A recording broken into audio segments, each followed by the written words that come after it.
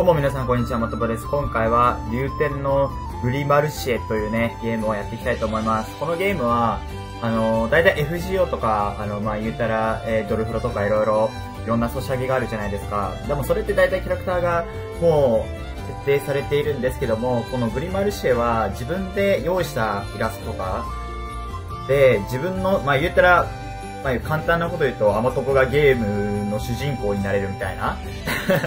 あの、キャラクタークリエイトゲ RPG ゲームみたいな感じらしいんで、結構前から気になってたんで、今回はやっていこうと思います。楽しみ。えー、バップズブブのレベルから、シャラバラ、シャラバラ、シャラバラ、シャラバラ、シャラバラ、なるほど。む、新人だな。ようこそグリマルシエ大陸。まずは冒険者登録をしようか。おもう早速、これがさっき言ってたやつですね。キャラクターのイメージを作るの好きな方法を選んで、えー、瞬作選択してください。アバターから選択。まあ、これがまあ言ったらプリセットみたいなもんですよね。えで、自分のイラストから選択。端末前にある画像を指定できます。お、サイズ 10×1000。あー、なるほど。じゃあね、ちょこっと作ってみようかな。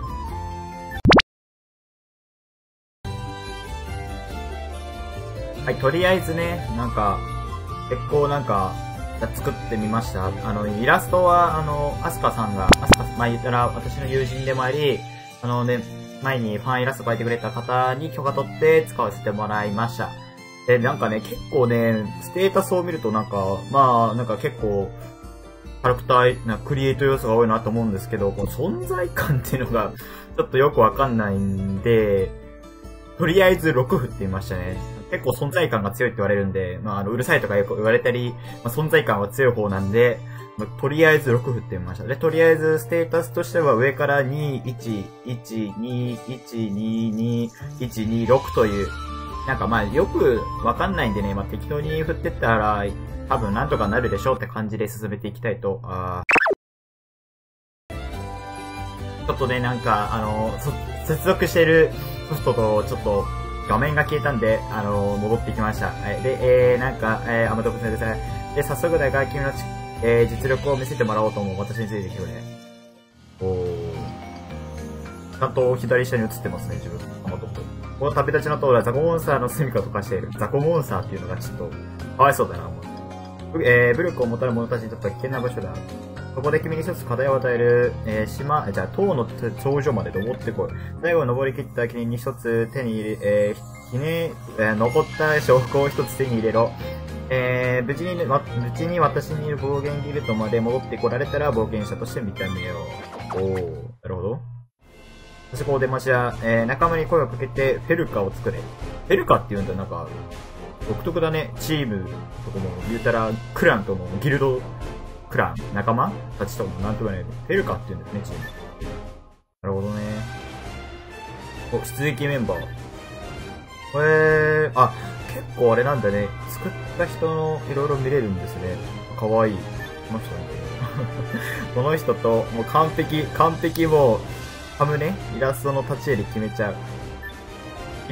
全部選んじゃうもん。全部選んじゃう。65、お強そう。で、出撃。ST。えー。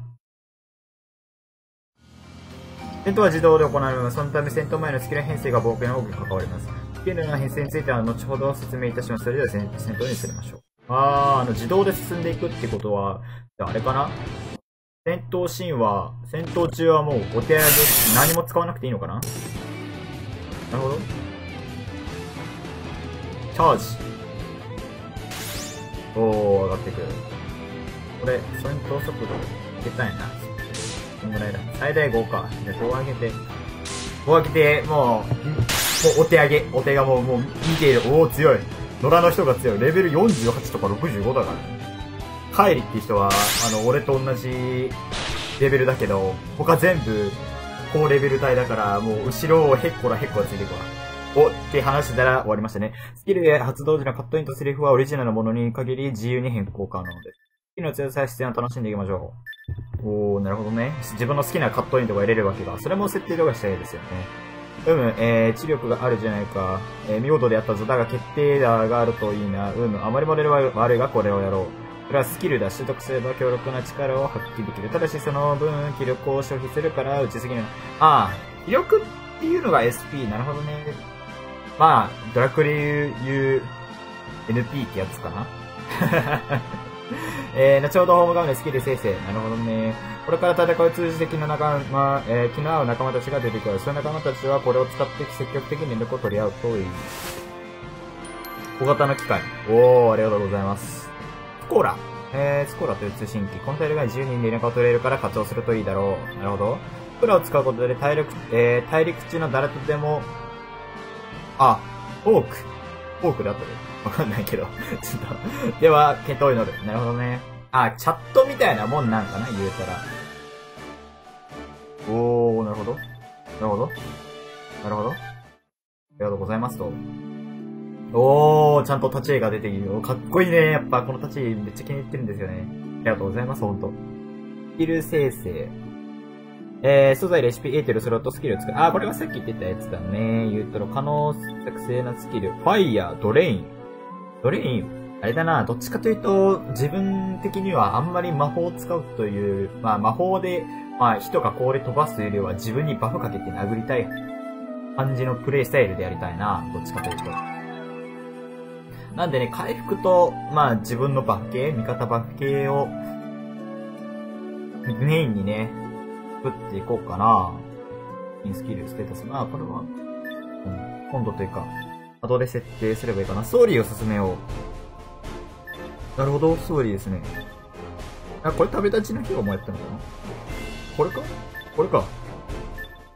チュートリアルと思ったけど。オート選択。ああ、オートだったらいろいろ、わ、結構みんなかっこいいイラスト描いてますね。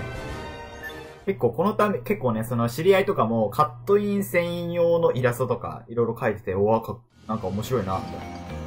コミックハイを感じながら進んでいく君たち、すべて線路の先に倒れている少女がいる。少女。おおまあ、少女というより、なんか、もうちょっと年ありそうな。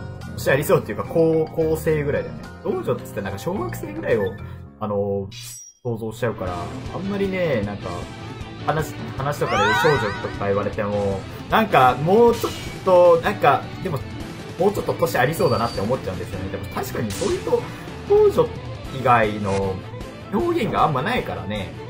高青年とか、青年とかだったら高青年とかってわけで、なんか話してたら、もう残り敵が1体になってる A が、スライム、スライム可愛いな、なんか A みたいなね、魚の。A、A の裏側可愛いよね、顔みたいに。っていう話してたら、なんか、終わっちゃったな。ありがとうございました。対面、ありがとう、ありがとうございます、じじ。え、あれ？えー、君たちはもしかして、私置いてかれた？あパートナーに置いてかれた感じか。ゆかペロして、ムーン投げずに終わってしまったな。少女は悔しそうに顔を歪めている。しかし君たちを見てころより表情を変えた。ねえ、君さ悪いんだけど、頂上までどこして、私ここ来たばかりだから、塔の上まで登らないといけない。ああ、じゃあさっき言ってたあれなんだね。あの、チュートリアルで話してた、その頂上てっぺん行ってこいってやつはまだだったんだね。てっきりもう普通にもうさっきので全部登り切って、もう認められましたみたいな感じだと思ったけども。そうでもないんだ。待って。どっちだエリア2だよね。おっと。とりあえずじゃあ、あれだな、いろいろ、ガチャとかないんかねなんかあんまりそのガチャっていうのも聞いたことないし、いろいろなんか、かといってなんか今更、今やっていくとあんまりなんかガチャ要素っていうのがあんま感じられないから、こう課金しなくても、いろいろできるみたいな調子に連れて行きたくない。困った時は食べる。お互い様ですよ、もう。もう盾役が増えるならもうこちらこそもうありがとうございますって感じだよ。やり使い。おー、ありがとうございます。ん？喋った今？あ、ポスターか。おさっきできました、敵。おー、じゃあ、もう、早速ね、左の力を、お、新しい敵がいる。大森だ。かわいい。神連れ。バーサーク。やっちゃえ。やっちゃえ、皆さん。65、65強いな。このギラって子は多分あれだよね。アセットの子なんかイラストの立ち絵っていうか、形的に。どうなんだろう。おお、ありがとうございます。君は戦闘に確かな歯応えを感じ武器を収めた。いやーん、めっち強いね。私あんまり役立てなかったかも。でもあいつら仲間目線なんてもう最悪。一体どこ行っちゃうんだよ。私なんかしちゃっかな。あれ？もしかして僕何かしちゃいました？強すぎてパーティーから省かれてるじゃん。え、今すごい音しなかった？オップス。突戦かな？いろいろ、なんか、もらってきてる。待って、ホームで、なんか作れるスキルあるかな？あ、まだないか。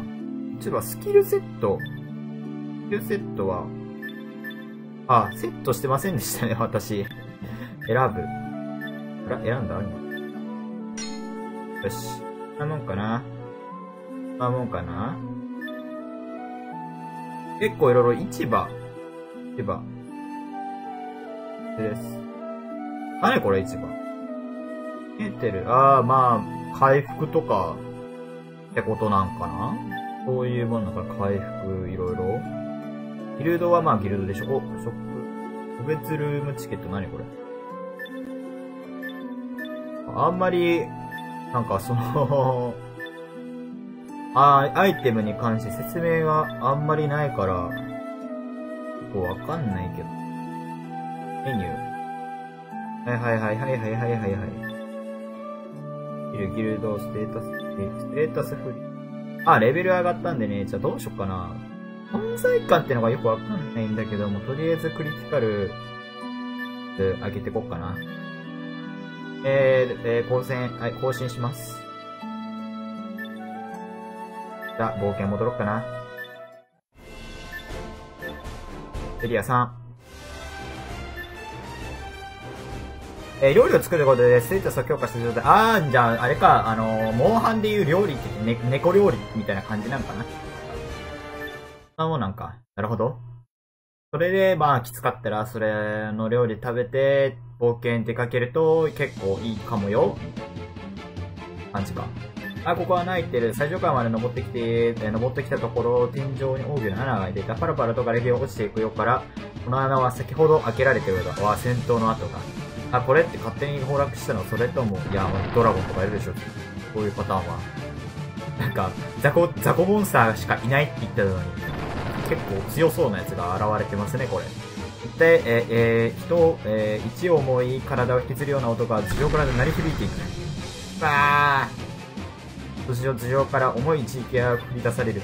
えー、攻撃の直、あに直、に来たら、とたまりもないだろう。冗談きついって、えぐいって、冗談きちきちいこんな時にもう邪魔しないで。おバトルスタート。うわ、雲じゃん。チキンライス。いけチキンライス。あれ、HP? チキンライスの人多分初めて一緒になったけど、HP めっちゃ減ってるね。そういうスキルなのかな？いろいろ。え、待って、カットイン自分の体しか映ってないかもです。ちょっと、いろいろ、考察したいな。まあ、時間あったらカットインとかのね、イラストとか描きたいけどね。えー、上手くないんですよね。うまい絵を描きたい。うん。かっこいい絵をね、載せれたらね、なおさらね、楽しくなるよね。そういうのは。よっしゃよっしゃ、あたし、あたし、しんがりにつくよ。先登って。えーと、即座に階段を駆け上がる。もはや寄り道してる暇はない。うわ、ザコがわらわら来てる。もっとペース上げて登って登って。やばい、お崩れ落ちちゃうよ。依頼を達成してました。ありがとうございます。エリア4。料理じゃない。メイン玉でかっ。もうでけえじゃん。眼球見て。コッコ、コッコの人かっこいいな。えー、塔の、えー、頂上までたどり着くとすぐさま大きなモンスターが目に入った。かわいい、ゴーレム。ゴーレムの上に鳥乗ってんじゃん。かわいい。あいつが塔に飽きた犯人を、えー、塔登りきるだけで試練がないのもうヘトヘトなのに。やば、こっち来る。私階段見張ってるから君たちはゴーレムお願い。田舎は任せたぞ。さあ、さあ、みんな、皆さんやっちゃっておしまい。先輩方。先輩方、お強いです。眼球お強いです。強い強い。かっこいい。ウォープス。あ、俺もちょっと体力半分かもです。で、カトレム。強い。強い。ウィン。あとねー。俺も大きな音を立ててゆっくりと石田をどうやらもう動く気配はなさそうだ。君は登り切った証拠として持ち帰ればならかということでございました。えー、ゴーレムのそばに慎重に、えー、ゴーレムのそばに慎重に仮面を引き剥がした。ゴーレムの仮面を手に入れた。やった、鉄仮面を手に入れたぞ。あ俺は人間をやめるぞ。よいしょー。誰かお疲れ様、はい、お疲れ様でした。ありがとうございます。ゴーレムをめこと停止させた君たちは無事とおり、暴言に暴言者ギルドまで戻った。ガイリ将軍、召喚持って帰ってきたか？君はゴーレムの画面を差し出した。おめでとう諸君、見事試練を乗り越えたようだな。もしかしたら気がついたかもしれないが、実はあの、あれはゴーレムの訓練よ。えー、今日は我々冒険者の使用物か騙すような真似をして悪かった。あ、なるほどね。まあ、そりゃそうだもんな。いちいち倒されて、また再配置するのはめんどくせえもんな。あ、そうだ。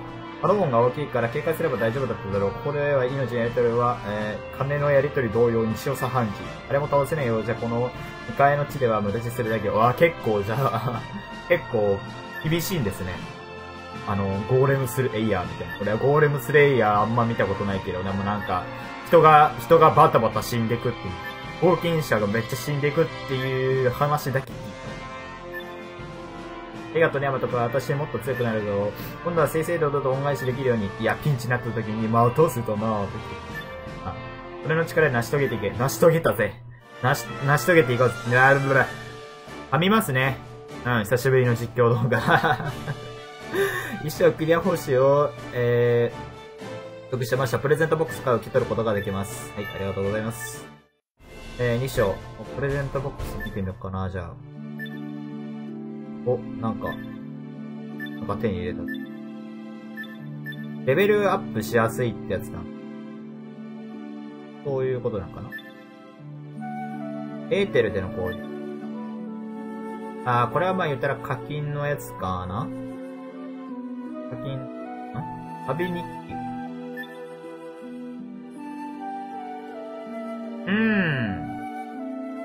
今まで結構課金して武器とか集めたり、キャラクター集めたりとかいう、え、言うたら FGO とか、思う、そういうやってたんで、あんまりなんか、課金要素が少ないゲーム。まあ、まだわかんないですけどね。今のところそのよく言われるチュートリアルでガチャを回してみよっかみたいな。そういう要素があんま感じられないんで、なんか、あん、なんか、新しい感じですね。本当に、これ無料でよかったのかななんかお金払わないといけないかなっていう気持ちが、どうしても出てきちゃう。第2章。あ、でも第1章終わったから、まあ、こんな感じですかね。大体まあ言うたら、まあ自分でキャラクター作って、まあ冒険者になって、これからいろいろ多分グリマルシェの大陸かな？を冒険していくっていう感じになるとは思います。はい。まあ短かったんですけど、とりあえずね、まあちょくちょく生放送でやったり、裏でね、いろいろ、まあ、まあ、生放送しなくても多分裏ではちょくちょくやっていくんで、よければね、やってる人がいたらフレンドとかね、なってくれたら嬉しいかもです。というわけでご視聴ありがとうございました。えー、チャンネル登録、高評価よろしくお願いします。お疲れバイビー